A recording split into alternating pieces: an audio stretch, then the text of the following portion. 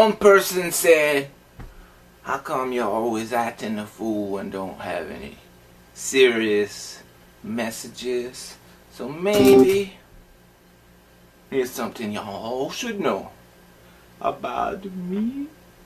Where do I come from?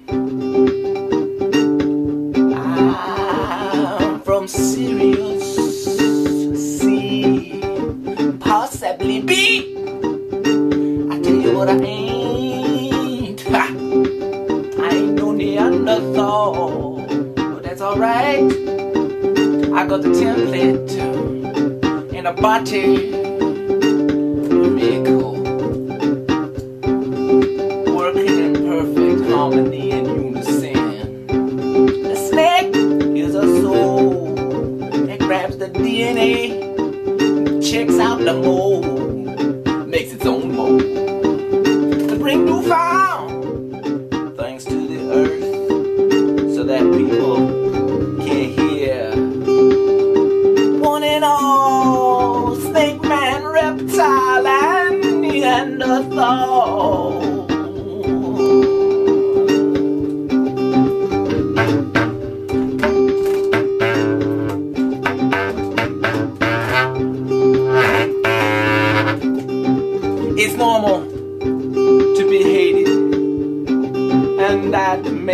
laugh.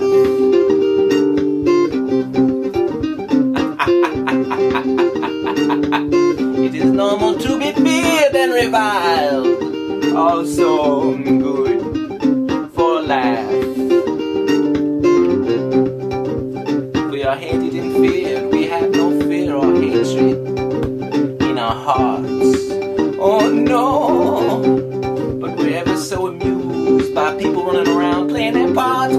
Their of what they think is love and good and evil. They don't know nothing about no love. They don't know nothing about no real love. If it suits you to call us evil,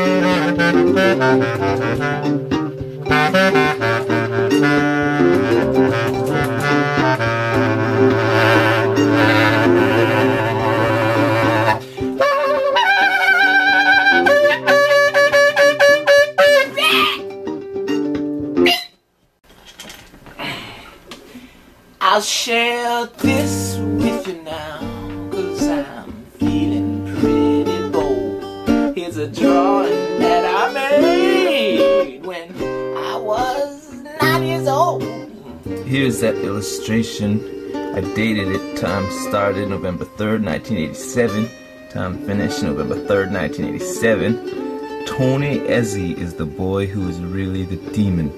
Interesting choice of depicting myself, but uh, that was a self-portrait at the time. And here is my true form. This is really Tony Ezzy's true self. This swinged lizard man who shot fireballs out his hands. But I knew the gist of it. I said I could fly and has the ability to change from boy to beast. A lizard man with a tail, of course. This was my worst foe, the no-winged angel, clearly depicting that he's evil, spelled beast wrong. I know your weakness, so don't think I'm scared. My true self at the age of nine years old. My true self at the age of nine.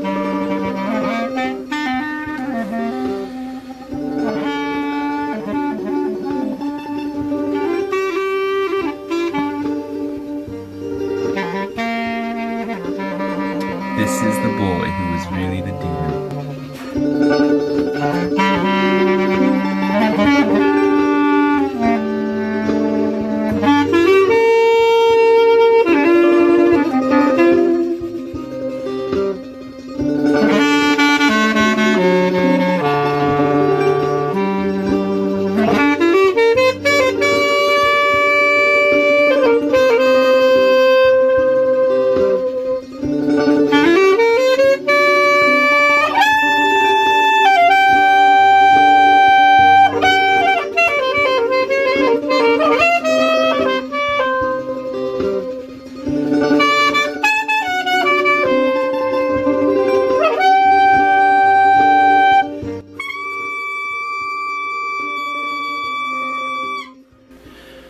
Make of that what you will, but I seem to know what was going on even back then.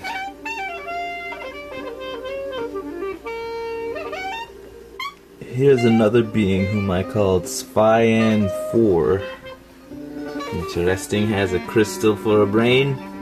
Seems to be well illuminated. Feathers coming from his head, indiscernible face. Once again, I did this when I was nine years old. Nine years old. On instinct and impulse. Spyan 4 came into my brain.